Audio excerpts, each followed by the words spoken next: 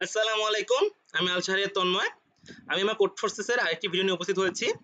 এটি Codeforces round six four six div two A B number problem সাবসি প্রবলেমটির নাম হলো সাবসিকোয়েন্স এইট এখানে যেটা বলা- হয়েছে যে আপনাকে একটা স্ট্রিং দেওয়া থাকবে binary string one zero one zero এর স্ট্রিং দেওয়া থাকবে, যেটা করতে হবে যে ওই স্ট্রিং এর কিছু বিট আপনাকে চেঞ্জ করতে হবে। অর্থাৎ জিরোকে ওয়ান করতে হবে অথবা ওয়ানকে জিরো করতে হবে। যেন বিট চেঞ্জ করার পর সেই স্ট্রিং এ ওয়ান জিরো ওয়ান বা জিরো ওয়ান জিরো টাইপের কোনো সাবস্ট্রিং না থাকে। জিনিসটা আরেকটু ভালো বুঝব, আমরা এখানে দেখি। জিনিস হলো যে আমার কি করতে হবে? যে আমার এমনভাবে চেঞ্জ করতে হবে যেন চেঞ্জ করার পর ওয়ান জিরো ওয়ান বা জিরো ওয়ান জিরোর কোনো সাবস্ট্রিং না থাকে। আমার এই উদাহরণটা খেয়াল করি। যে এখানে কিন্তু আমি এরকম ওয়ান জিরো ওয়ান ফর্মে কোনো সাবস্ট্রিং বা এই উদাহরণে জিরো ওয়ান জিরো ফর্মে কোনো সাবস্ট্রিং তৈরি করতে পারব না। এই দুটি উদাহরণে, একটি উদাহরণেও ওয়ান জিরো ওয়ান বা জিরো ওয়ান জিরো এর কোনো সাবস্ট্রিং তৈরি করতে আমি সাবসিকোয়েন্স সরি সাবসিকোয়েন্স তৈরি করতে পারব না। তো এখন যদি এরকম হয় যে এখানে আমার একটি ওয়ান আছে, তাহলে কিন্তু দেখা যাচ্ছে যে হ্যাঁ এখানে তখ- তখন আমি ওয়ান জিরো ওয়ান একটি সাবসিকোয়েন্স তৈরি করতে পারতেছি। ওকে? অথবা যদি এখানে আমার একটা জিরো থাকে, এটা শেষে একটা জিরো থাকে, তাহলে কিন্তু আমি জিরো ওয়ান জিরো একটি সাবস্ট্রিং তৈরি করতে পারতেছি। তো আলটিমেটলি আমি কি বুঝতেছি প্রবলেমটা থেকে? প্রবলেম থেকে বুঝতে পারতেছি যে আমার প্রবলেমের বিটগুলো ফ্লিপ করার পর, অর্থাৎ জিরোকে ওয়ান এবং ওয়ান করার পর আমার আসলে এইরকম ফর্মে আনতে হবে। অর্থাৎ যার একদিকে থাকবে সবগুলো ওয়ান এবং অন্যদিকে থাকবে সবগুলো জিরো ওকে হয়তো প্রথমে ওয়ান পরে জিরো নতুবা প্রথমে জিরো পরে ওয়ান তাহলে আমি আসলে এরকম কোনো আমি বলতে পারব হ্যাঁ এটা গুড স্ট্রিং এর ওয়ান জিরো ওয়ান বা জিরো ওয়ান জিরো কোনো সাবসিকোয়েন্স স্ট্রিং নেই। আমি হয়তো ক্লিয়ার হয়েছি। আচ্ছা তো এখন আমি এটা কীভাবে করব? আমি আমার এই উদাহরণটা দিয়ে তাকাই যে আমি এই যে এখানে দেয়া আছে one zero zero zero one one zero আমি যদি একে নেইভ ভাবে করতে চাই নেইভ ভাবে করলে এর কমপ্লিট হয়ে যায় এন স্কোয়ার তো নেইভ ভাবে করা যাবে না। তো আমি আগে কি করব? আমি আগে কাউন্ট করে রাখব রাখব যে প্রথম দিক থেকে শুরু করলে, এদিক থেকে শুরু করলে আসলে ওয়ান কয়টা? মানে জিনিস হলো এরকমের যে আমি যদি ইয়া করি, এখানে আসি যে আমি এখন আমার ছয় নম্বর ইন্ডেক্সে আছি। তো ছয় নম্বর ইন্ডেক্সে আমার বাম থেকে শুরু করলে আসলে ছয় নম্বর ইন্ডেক্স পর্যন্ত কতগুলো ওয়ান আছে এবং তারপরে আমার কতগুলো ওয়ান আছে, অর্থাৎ এন পর্যন্ত আমার কতগুলো ওয়ান আছে সেটা আমার কাউন্ট করে রাখতে হবে। জিনিসটা আমি হয়তো ক্লিয়ার ওকে তো তারপর আমি কি করব? ধরে যাও আমি তিন নাম্বার ইন্ডেক্সের জন্য আমি কাজ করতেছি। তো আমি ধরে নিই যে এরকমের যে আমি প্রত্যেকটা ইন্ডেক্সে যাব এবং ওই ইন্ডেক্সের জন্য আমি অপটিমাল সলিউশনটা বের করার ট্রাই করব। যে ওই ইন্ডেক্সের জন্য আমার অপটিমাল সলিউশনটা কি হয়? এর মধ্যে আমি যে ইন্ডেক্সে সবচেয়ে মিনিমাম পাবো, সেই ইন্ডেক্সে হলো আমার আসলে অ্যান্সার মানে সেই ইন্ডেক্সের সলিউশনটা হলো আমার অ্যান্সার তো আমি, ধরে নিই আমি থার্ড ইন্ডেক্সে গেলাম। তো থার্ড ইন্ডেক্সে যাওয়ার পর আমি দেখব যে যদি আমি থার্ড ইন্ডেক্সের আগে সবগুলো ওয়ান এবং পরের সবগুলো জিরো করতে চাই, তাহলে আমার কতগুলা বিট ফ্লিপ করতে হবে। তো খেয়াল করি যে থার্ড স্ট্রিং এর থার্ড ইন্ডেক্সের আগে যতগুলো ওয়ান আছে, সবগুলো যদি ওয়ান করতে চাই, তার মানে কি যে এর আগে যতগুলো জিরো আছে, সবগুলো জিরোকে ওয়ান করতে হবে। অর্থাৎ এর থার্ড ইন্ডেক্সের আগে বা থার্ড ইন্ডেক্স পর্যন্ত দুটি জিরো আছে। তার মানে দুটি জিরোকে ওয়ান করতে হবে মানে দুই এবং থার্ড ইন্ডেক্সের পরে তিনটি ওয়ান আছে। যেহেতু আমি থার্ড ইন্ডেক্সের পরে সবগুলো জিরো করতে চাচ্ছি তাহলে তিনটি ওয়ানকে জিরো করতে হবে।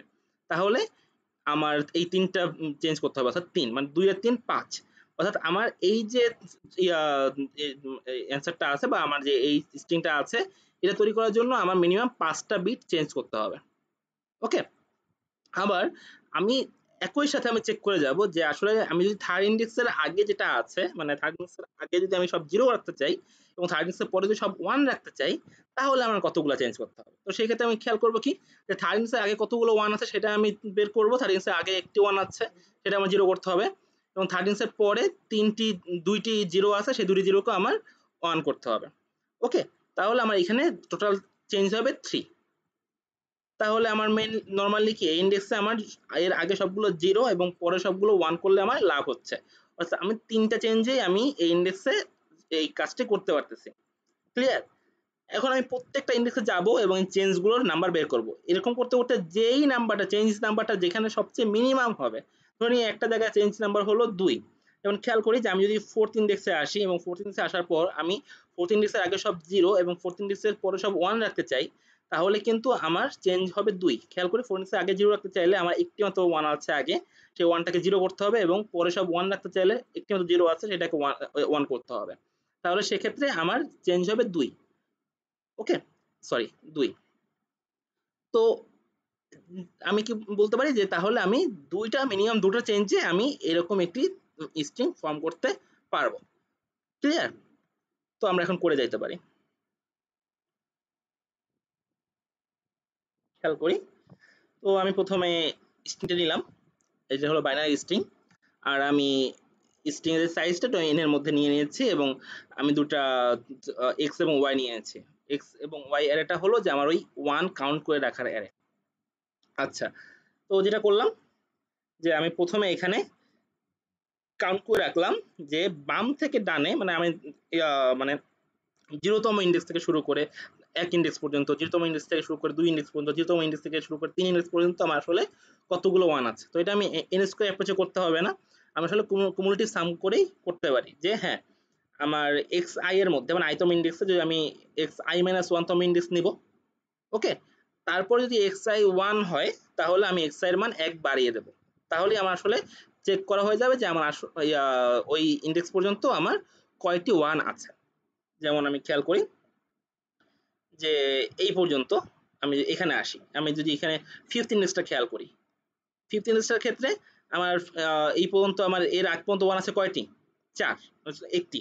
আমার ফোর্থ ইন্ডেক্সের আগ পর্যন্ত ওয়ান আছে একটি। তাহলে আমার ফোর্থ ইন্ডেক্সের ভ্যালুটা হবে কত? এক। তো আমি কি করব?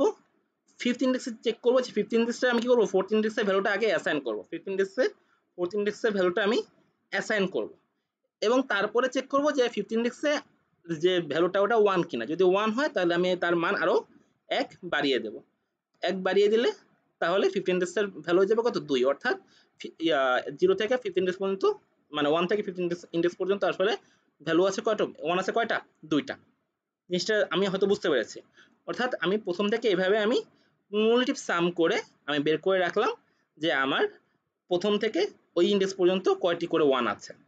আবার ঠিক পরে যে কাজটা করতেছে এখানে এখানে হলো যে উল্টা দিক থেকে। অর্থাৎ আমি যেটা করতেছি যে এন থেকে আমি চেক করতেছি যে এন থেকে ওয়ান পর্যন্ত, অর্থাৎ এন থেকে আই পর্যন্ত আমার কয়টি? ওয়ান আছে। ক্লিয়ার এরপর আমি কি করলাম? প্রত্যেকটা ইন্ডেক্সে গেলাম এবং তার চেক করতেছি। যে প্রথম যে চেক করতেছি, এটা হলো যে আমার আইতম ইন্ডেক্সের আগ পর্যন্ত সবগুলো ওয়ান রাখতে চাইলে এবং আইতম ইন্ডেক্সের পর পর্যন্ত সবগুলো জিরো রাখতে চাইলে তখন আমার কতগুলো চেঞ্জ করতে হবে। ওকে তো আমার যেটা হলো যে এক্স আই কি? যে আইতম ইন্ডেক্সের আগ পর্যন্ত ওয়ান সংখ্যা। আমি বুঝতে পারতেছি তো? এক্স আই হলো আইতম ইন্ডেক্সের আগ পর্যন্ত ওয়ান সংখ্যা। তাহলে আমি এটা আসলে জিরো ইন্ডেক্সের করতো তাই এখানে কিছু প্লাস ওয়ান মাইনাস ওয়ান আছে আপনার একটু হিসাব করে নিতে পারবেন। আমি ওয়ান ইন্ডেক্স হিসেবে বুঝে যাচ্ছি। ওয়ান ইন্ডেক্স হিসাবে বুঝে যাচ্ছে। তো যাই হোক এক্স আই হলো আইতম ইন্ডেক্সের আগ পর্যন্ত আমার ওয়ান সংখ্যা। আর আমার যেটা করতে হবে যে আইতম ইন্ডেক্সের আগে সবগুলো যদি ওয়ান রাখতে হয়, তাহলে আমার বের করতে হবে যে, আমার জিরো আছে কয়টা? আইটম আইতম ইন্ডেক্সের আগ পর্যন্ত আমার জিরো আছে কয়টা? তাহলে আমি আই থেকে যদি এক্স আই বিয়োগ করে দেই, তাহলে আমি পেয়ে যাব যে, আমার জিরো আছে কয়টা? ধরে নিই আমার জিরো আছে দুইটা। তো টু এবং ওয়াই আই প্লাস ওয়ান মানে এটা হলো যে, আমার আইটম ইন্ডেক্সের পরে কতগুলো ওয়ান আছে। অর্থাৎ আমি যদি আইটম ইন্ডেক্সের পরে সবগুলো জিরো করতে চাই, তাহলে আমার জানতে হবে যে আইটম ইন্ডেক্সের পর কতগুলো ওয়ান আছে, সেই ওয়ানগুলোকে জিরো করতে হবে। তো ধরে ধরে নেই যে আমার আইটম ইন্ডেক্সের পর ওয়ান আছে তিনটা। তাহলে সেক্ষেত্রে আমার মোট চেঞ্জ করতে হবে তিন, দুই, পাঁচটা। অর্থাৎ আমি আইটম ইন্ডেক্সের আগে যদি সব ওয়ান এবং আইটম ইন্ডেক্সের পরে যদি সব জিরো রাখতে চাই, তাহলে আমার চেঞ্জ করতে হবে কত? পাঁচটা। তাহলে আমরা সেটা তারপর অ্যান্সার সাথে আমি চেক করব যে এটা আসলে মিনিমাম কিনা। যদি অ্যান্সার মিনিমাম হয়, তাহলে অ্যান্সার অ্যান্সারই থেকে যাবে। আর যদি অ্যান্সার মিনিমাম না হয়, তাহলে অ্যান্সার পাঁচ হয়ে যাবে। তারপর আবার চেক করব যে আমি আইতম ইন্ডেক্সের আগে সব যদি জিরো রাখতে চাই এবং আইতম ইন্ডেক্সের পরে যদি সব ওয়ান রাখতে চাই, তখন কি হবে? তো এখানেও ঠিক সেম যে আমি প্রথমে কাউন্ট করেছি এইখানে যে এতটুক জায়গায় যে আইতম ইন্ডেক্সের পর কতগুলো আমার জিরো আছে। সেই জিরোগুলো ওয়ান হবে, তো আমার কতগুলো জিরো আছে সেটা আমার জানতে হবে এবং আইতম ইন্ডেক্সের আগে আমার কতগুলো ওয়ান আছে সেটা আমি জানলাম। তারপরে সেই ওয়ান আইতম ইন্ডেক্সের আগে ওয়ানগুলো আমার জিরো করতে হবে। সো এরপর ওটা যোগ করে দিলে আমি জানতে পারব যে আমার টোটাল কতটা চেঞ্জ করলে আমি আইতম ইন্ডেক্সের আগে সব জিরো করতে পারব এবং আইতম ইন্ডেক্সের পরে সবগুলো ওয়ান করতে পারব। ওকে এরপর আবার ঠিক সেমভাবে অ্যান্সার সাথে আমি চেক করব যেটা মিনিমাম কিনা, যেটা মিনিমাম হবে সেটা অ্যান্সার আবার অ্যাসাইন করে দেবো। এরকম করতে করতে প্রত্যেকটা ইন্ডেক্স যদি আমি চেক করি, তাহলে আলটিমেটলি আমি আমার যে মিনিমাম চেঞ্জে আমি আসলে ওরকম সাবস্টেন্স তৈরি করার যে অ্যান্সারটা সেটা পেয়ে যাব। অর্থাৎ আমার অ্যান্সারের মধ্যে আমার মিনিমাম চেঞ্জের যে ভ্যালুটা সে চলে আসবে। তারপর আমি অ্যান্সার প্রিন্ট করে দিলেই হয়ে যাবে। যাই হোক আশা করি করতে বুঝতে পেরেছি। সুস্থ থাকুন নিরাপদে থাকুন আল্লাহ হাফেজ।